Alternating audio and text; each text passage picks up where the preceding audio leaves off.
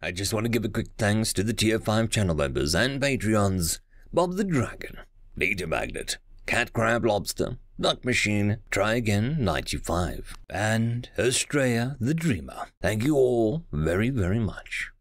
Anyways, on to the story. When Deathworlders Meet, Part 10. Aranis tossed the vellum aside in disgust. Not that it mattered but she wondered whether the message had been sent as a warning or a threat. We have to get out of here, she said, not even bothering to whisper, or hide somewhere. Yeah, definitely, agreed Stephen, looking to the cage. She had been afraid he'd get that idea. Well, it was most certainly true that she wasn't quite ready to introduce Stephen to a skeleton French just yet, for fear that he might take the wrong way. She had other, more silent concerns. For one, while the bars might afford some small measure of protection, forcing their assailants to more carefully aim their shots, it was far from perfect. As much as she had moved around in there, they had always found a way to hit her before. But that alone did not give her pause. Some protection, even just to temporarily confound the enemy, beat nothing any night of the week. No, she wasn't going back into that tiny cage for one simple reason. She couldn't bring herself to go back in there. Not after she'd spent an almighty knew how long alone inside that ossuary, and with no time, nor thoughts, nor company, hoping only for death to claim her and end the torment. Just thinking about it made her shake. I don't think it'll work, she said. We have to find something else. We'll find something else after we get some cover in there, he said, stepping inside the cage to examine it. She heard a cascade of crunching noises. That had to be Twinegard. Stephen's foot had gone right through his chest, smooshing some choice organs she'd been saving. What the shit, Aridus? He heard the man yell. Is this? Oh god. It's like a slaughterhouse in here. She mentally shrugged. She doubted his feet were very clean, but she would be dead long before she worked up the courage to eat more of Twine's foul tasting, rotting entrails anyway. Don't be mad at me, she said, indignant. You're the one who wasn't looking where he was going and ruined my supper. What a Welsh gentleman you are. Can't even see where your meat comes from. No. Oh, God, no. His voice barely above a whisper, his hand moving to cover his mouth and nose. He rolled Twine's head to the side, examining the skull cavity. One of his eyes fell out, though she had chewed most of his face away. She'd gone to great trouble to leave them in there, so he seemed more interested in what she had to say. I think, um, I think these were intelligent people. They made you eat them? Of course not, she said. I could have starved or played their little games, got some gruel, and as my reward, got to take a little longer to starve to death. But those lunatics, killing their own slaves just to feed you. S slaves? She cocked her head to the side, confused. You mentioned something about that before. Maybe, but I don't think so. One of them was perfectly content to torture me, all on his own accord. He seemed like he was rather enjoying himself, actually. The other two were his friends. I think they were in the employ of the warden. Well, that makes it even worse, Stephen said. I wonder why anyone would work for a captain if he's that kind of guy, too. He paused, looking down at the remnants of the three monsters, then back to her. She grinned wide, flashing her pearly white teeth at him. She felt quite proud of her perfect smile. The corners of Stephen's mouth curled up in response. Ah, I see. The captain didn't kill these people, he said in a flat tone. Of course he didn't. Why would he do that? I did, she said. They're monsters. They took me and tortured me. They deserved no less. Right, he said, nodding his head. And you ate them. Want some? She asked, sarcasm and humor laid on thick. I could prepare some wonderful sausage for you out of that one's intestines. That one's innards oh, and the third one's back fat. Season them with some slime mold, and it's supper food for a queen. He appeared to be the opposite of amused. She sighed, seeing his revulsion had been genuine. I did it because I had to, my gentleman, not because I wanted to, she explained carefully. It's true that I don't entirely see this as cannibalism, which I know you're thinking because thought crossed my mind too. The truth is, for whatever reason, I just can't seem to think of them as people, no matter what they say or how intelligent they seem. I cannot place myself as them, think as they would think, or feel ill for their illness. Do you understand? Hmm, yes, I understand. What about me? he asked. It hurts me deeply that I hurt you without cause, she said, rubbing her chest. I feel for you more than I would my own kin, and while I'm sure you would be absolutely delicious to eat, you're very clearly a person, so that would be cannibalism.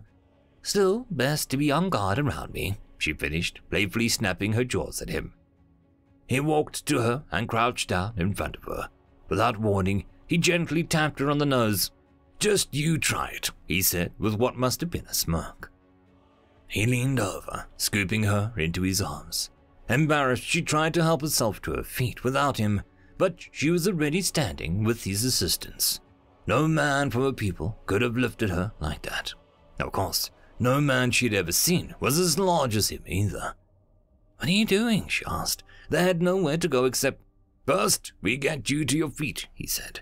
Then we walk into the cage for some. No, no, no, she said, pushing away from him. I don't care how big you are. You're not going to get me in there. Not now. Not ever. He tried to urge her ever so gently into the cell. Come on, Aranis. We have to. No! She yowled into his face, her teeth narrowly missing everything from the furry patch above his left eye to the bottom of his chin. Shocked by what she'd almost done, she looked away. I'm sorry. It, it, that isn't me. I. I just can't go in there. If that means I die standing here, then please just let that happen. Not a problem. I think I understand, said Stephen. And I'm sorry for trying to make you do something you didn't want to do. What if we climbed on top of the cage instead? The bars beneath us should still offer some protection. I, uh, I could try that, she offered hopefully. But if we start and I don't want to anymore, then we stop and find some other way to protect ourselves, he finished for her. She nodded with a smile. Help me over there, she said. She leaned heavily on the tall man, still uneasy on her feet. You're heavy. What do you eat, lad? Just kidding. I know what you eat. He joked with a smile, wrapping one arm around her waist and pulling her other over his opposite shoulder. His hand had tickled where he held her above her hip, causing her stomach to tense. He took notice that's why you must spend a lot of time in the weight room. Have you thought about switching to cardio? She was about to ask what that was, followed by asking what the next step was in the escape, when a loud cracking and whining noise startled her. Had it come from the voice indentation in the wall? Their time had just run out. It was bound to happen sooner or later. She cursed the warden for the thousandth time the seven hells did the translators reactivate? Well, find out how before I send you to ask them, the warden's voice screamed, seemingly to neither she nor Stephen, but somebody entirely unseen. Perhaps that person was in the adjacent room with the warden from whence he spoke. Night Beast, you will slash the human until he bleeds out immediately or I will personally administer your bath time every single day, all day, until your skin is flayed from your bones. Wide eyed, she felt the human shift beside her. I will not hurt this gentleman again, she yelled, unsteadily splaying her claws and rising her pads to full height, almost a head taller than Stephen. And I swear upon my honor as Imperial Majesty's Dame Commander I will personally cut your body and remove your head, in that order, with my bare feet. It was the first thing that she had said to any of the takers, but she had let that particular secret go when she had introduced herself to Stephen. So be it, said the warden. Two embrasures opened up on opposite sides of the room, followed immediately by a pair of loud pops. Stephen heard the sounds and knew instantly that the dark guns were poisoned arrows which Aranis had warned him of. At hearing the sound, he gave no thought to immediately pushing his companion away from him. She must have had the same idea, because when his hand met her shoulders, her hands met his chest. They didn't so much shove each other away as explode apart. Adrenaline was a hell of a drug. It was far too late for either of them, he knew, he could feel his start jabbing into his back, where he landed on top of it, painfully forcing it deeper beneath the skin. He could see her sticking out of his side, just at the level of what would be a kidney on a human. Against all odds, he saw her getting to her feet, staggering towards him. He marveled at her persistence and strength of will, pulling himself to a seated position to yank the barbed dart from his back. A few milliliters of viscous blue liquid remained inside, but the rest had clearly been injected into his body. He wondered how much time he had. He wondered how much time Aranis had. She staggered to the dazed halt in front of him. Like a puppet with all her strings cut, she fell on top of him, pressing him to the deck.